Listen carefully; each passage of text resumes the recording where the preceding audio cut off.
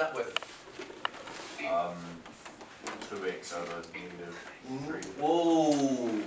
Now, what was the, what was the rule I, I asked you? Now, what does it say? Has to be in all of the terms. Yeah. All right, so what can I factorize out in the numerator? X. I take out x. What am I left with?